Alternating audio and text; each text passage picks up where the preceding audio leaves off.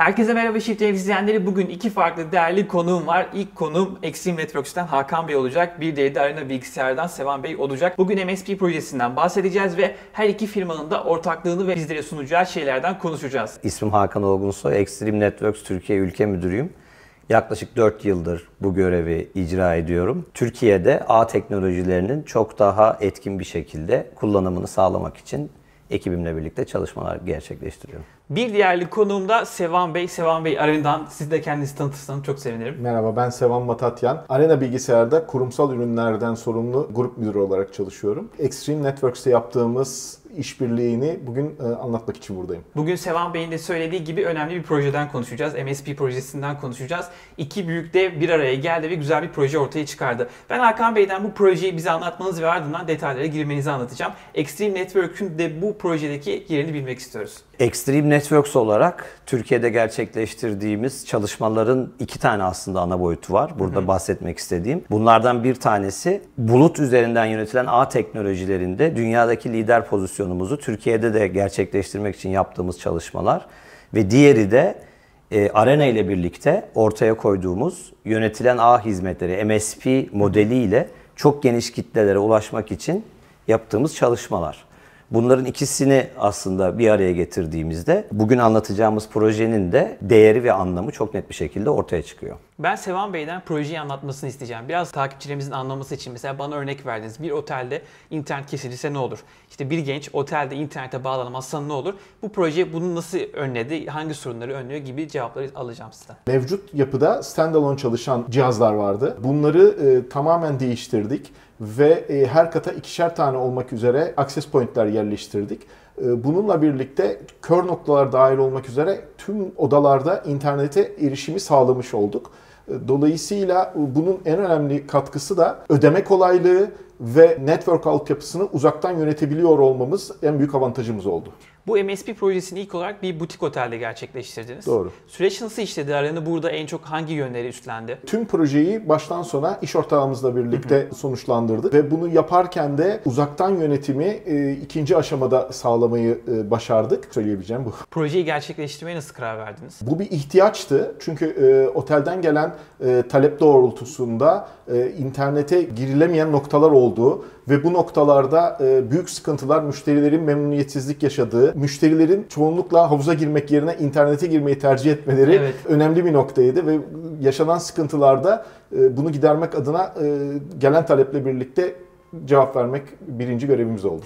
MSP projesinde iki taraf var. Burada Arena'yı dinledik. Peki Extreme Networks tüketiciye burada ne sundu? Ve siz de bu projeye karar verirken nasıl bir e, karar aldınız? Aslında hani nasıl bir karar aldığımız bizim için çok düz bir durumdu. Çünkü e, Arena ile birlikte Türkiye'de yaygın kanala ulaşmakla ilgili bir strateji işletiyoruz. Hı hı.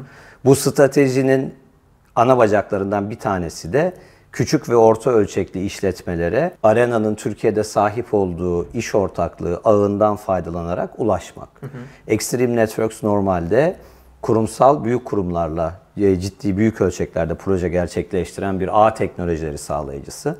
Ama bunun yanında bulut üzerinden yönetilen networklerle de çok daha geniş alanlara ulaşmaya çalışıyoruz. Bu otel örneğinden yola çıkarsak, biraz önce bahsettiğimiz gibi otele gelen bir misafirin şu anda en önem verdiği, puanlama yapılması istendiğinde en ciddi şekilde dikkate aldığı konuların başında iletişim, bağ, bağımlı kalmak, bağlı kalmak, connectivity geliyor.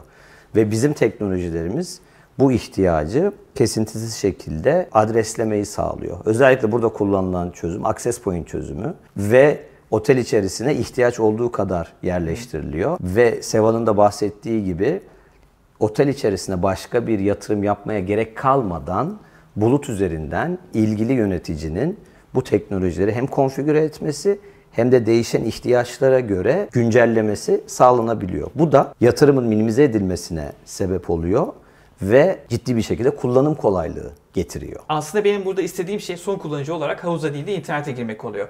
Bu butik otelde bir çalışma gerçekleştirildi ve artık her yerden e, Wi-Fi ile internete bağlanabiliyorum. Herhangi bir şekilde sıkıntı yaşamıyorum. Eğer bir butik otelde internet kesilirse de yönetici bunu bulut tabanlı olduğu için her yerden görebiliyor. Görebiliyor. Görebilmekle de kalmıyor. Müdahale edip çözebiliyor da. Peki burada bir butik otelden bahsediyoruz. Extreme Networks hangi sektörlere hizmet ediyor genel olarak? Evet, çok teşekkür ederim soru için. Extreme Networks ağ teknolojileri anlamında aklınıza gelebilecek bütün kurumsal dikeylerde hizmet veren bir teknoloji üreticisi. Yaptığımız ana iş ve tek iş ağ teknolojileri üretmek ve bu konuda teknoloji geliştirmek. ARGE bütçemizin hemen hemen hepsini yeni nesil teknolojileri dünyada ilk defa hayata sunmak için kullanıyoruz. Merkezimiz Amerika'da, San Francisco Silikon Vadisi'nde ve Türkiye operasyonlarımız da dünyanın diğer 80 ülkesinde olduğu gibi bir lokal ekiple devam ediyor. Peki ARGE dediğiniz ürünler geliştiriyorsunuz. Bize ürünlerden bahsedebilir misiniz? Tabii ki biz her ne kadar Access Point, Switch gibi teknolojileri veri merkezlerinde, kampüslerde sağlayan bir üretici gibi görünsek de biz aslında bir yazılım üreticisiyiz.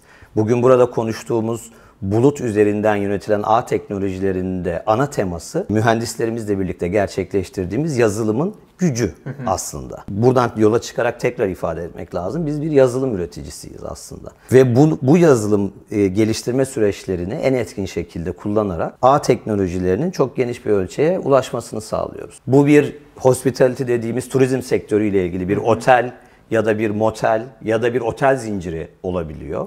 Ya da bir lojistik sektöründe e, çok ciddi bir lojistik firmasının ya da e-ticaret e, hizmet sağlayıcısının bir deposu, ambarı olabiliyor. Veyahut da bir bankanın ofislerinde verdiği hem müşterilerine hem çalışanlarına verdiği bir ağ hizmeti olabiliyor. Veyahut da bir kamu kuruluşunun vatandaşlarına sunduğu erişim hizmetleri olabiliyor. Yani aslında insanın iletişim için ihtiyaç duyduğu her alanda hizmet ve teknoloji sağlayabilen bir firmayız. İlk olarak size sormak istiyorum. Arena tarafında MSP projesi tabii ki bir heyecan yaratmış olabilir. Gelecekte ne öngörüyorsunuz? Bu proje nasıl devam eder? Bu proje yaptığımız ilk MSP projesiydi. Bizim için referans bir proje bu. Bunu arttırarak devam ettirmek e, yolunda önemli bir adım olduğunu düşünüyoruz. Çünkü e, bundan sonra e, atacağımız, yapacağımız tüm projelerde bu referans bizim için çok önemli bir çıkış noktası olacak. Bundan sonrası ödeme modeliyle birlikte farklılaşacak bir dünya yaratacağımızı düşünüyoruz. Network dünyasında yepyeni bir ödeme modeli ve uzaktan kontrol e, modeliyle bambaşka bir e, network dünyası yaratacağımızın e, iddiasındayız. Sizin iddianız neler? Extreme Networks olarak bu projede gelecekteki hedefler ya da farklı bir bakış açınız var mı? Ee, evet yani bu konu başlığında söyleyebileceklerim şu anda dünyadaki teknolojiyi öncüleyen, drive eden bazı hı hı. ana konu başlıkları var. Bunlardan bir tanesi yapay zeka, bir tanesi makine öğrenmesi, bir tanesi bulut üzerinden gerçekleştirilen hizmetler. Biz bunların hepsinde faaliyet gösteren bir firmayız. Ve bunlarda da evet iddialıyız. Mesela bulut üzerinden yönetilen network konu başlığına baktığımızda dünyada en hızlı büyüyen teknoloji üreticisiyiz. Ve toplam pazar payı olarak da düşündüğünüzde iki numaralı teknoloji üreticisiyiz. Bu iddiamızla ilgili bir fikir veriyordur diye düşünüyorum. Ve bunlardan bağımsız, bağımsız araştırma şirketlerinin gerçekleştirdiği pazar analizlerinde de hep üst seviyelerde puan alan bir noktamız var. Yapmaya çalıştığımız tek şey bu pozisyonumuzu geliştirerek devam etmek açıkçası. Her iki tarafa da aynı soruyu sormak istiyorum. İş ortaklığıyla alakalı gelecekteki planlar neler? Nasıl ilerleyeceksiniz? Arena bizim aslında Türkiye'deki iş geliştirme modelimizde bir köşe taşı oldu. Bu köşe taşını birkaç tane konu başlığıyla ifade etmek lazım. E bunlardan birincisi Arena Extreme Networks'e inandı ve bir yatırım alma kararı, yatırım yapma kararı aldı. Bu kararla birlikte Türkiye'de hem iş ortaklarına hem geniş kitlelere ulaşabilme kabiliyetimiz dramatik bir şekilde arttı. Bu yüzden ben Arena'ya teşekkür etmek istiyorum burada. Bize bize gösterdikleri bu inançtan ve destekten, yatırımdan dolayı. Bu yatırım süreci nasıl ilerledi? Sizi tetikleyen neydi? Ee, bir yıllık bir işbirliğimiz var. Onun öncesinde yaptığımız tabii e, görüşmeler vardı. Biz bu markada neler yapabileceğimizi, network dünyasında nasıl daha fazla geliştirebileceğimizi, kurumsal ürünlere nasıl katkıda bulunabileceğini görerek zaten e, bu işe başlamıştık. Buradaki işbirliğimizin artmasıyla bu kurumsal ürünlerdeki katkısının çok daha fazla olacağını gördük. Dolayısıyla yatırımımızı yaptık ve arttırarak da yapmaya devam edeceğiz. Tabii burada bence önemli bir konu başlığı var. Arena ile birlikte gerçekleştirdiğimiz genel işbirlikteliğinin haricinde bugünkü sohbetimizin de bir parçası olan MSP dediğimiz yönetilen hizmet servis sağlayıcısı, yönetilen hizmet sağlayıcısı konsepti. Arena aynı zamanda genel yatırımımızın yanında yaptığı özel bir yatırımla da MSP alanında kendi iş ortakları ekosistemine son kullanıcılara bu hizmetin sunulabilmesini sağladı. Bununla ilgili özel bir stok yatırımı yaptı. Sadece MSP içinde kullanılabilecek otel gibi, kafe gibi, restoran gibi, eczane gibi e, aklınıza gelebilecek connectivity'nin, iletişimin en önemli olduğu herhangi bir alana e, bu hizmeti sağlayabilecek bir yatırımımız Arena ile birlikte şu anda Türkiye'de mevcut. Bu da bizim için ayrıca normalde zaten referanslarımızın olduğu ve iş yaptığımız bir kitlenin çok daha ötesine ulaşmak için çok önemli bir adımdı. İlk adım attık dediniz. Ben son olarak söylemek istediğiniz şeyler var mı merak ediyorum. Hem arena tarafına hem de bizi izleyenler tarafına. Tabii ki teşekkür ederim. Bu önemli bir adımdı. Çünkü bu konunun Türkiye'de daha yeni yeni şekillendiğini ve geniş kitlelere ulaştığını söyleyebiliriz. Yönetilen hizmetlerin ağ teknolojilerinde kullanılması ve bunun bulut üzerinden yapılması yeni bir konu. O yüzden e, Arena ile birlikte attığımız adımı çok önemli buluyorum. Bu nereye gidecek? Bizim vizyonumuz, hayalimiz at, Arena ile birlikte attığımız bu adımla Arena'nın iş ortakları ekosisteminde çok geniş kitlelere, çok geniş bir iş ortaklığı ekosistemine bu modeli yaymak ve bu vesileyle de Türkiye'nin her yerinde iletişim problemlerinin giderilmesini ve daha üst seviye teknolojilerinin rahat bir şekilde, ulaşılabilir bir şekilde, mümkün olduğu kadar fiyat etkin bir şekilde de tüketilmesini sağlamak. Böyle bir vizyonla hareket ediyoruz aslında. Yolculuk uzun. Sizin söyleyeceğiniz şeyler neler? Yolculuğun devamında neler var? Extreme Networks'e yola çıktığımız bu distribütörlük anlaşmasında varmak istediğimiz yer biraz önce Hakan'ın da bahsettiği gibi e, çok daha e, fazla iş ortağına bu konuyu anlatabilmek. Dolayısıyla müşterilere yani son kullanıcılara da ulaşabiliyor olmak en önemli misyonumuz olacak. Burada da görüşmemizin içinde anlattığımız gibi e, taksitli ödeme modeli ve uzaktan yönetebiliyor olmak bizim en önemli kriterlerimiz.